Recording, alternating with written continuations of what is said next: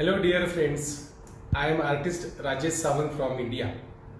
I am giving watercolor landscape demo for second international watercolor Triennial organized by IWS Bulgaria. Thanks to dear friend Selma and her team for inviting me. Thank you very much.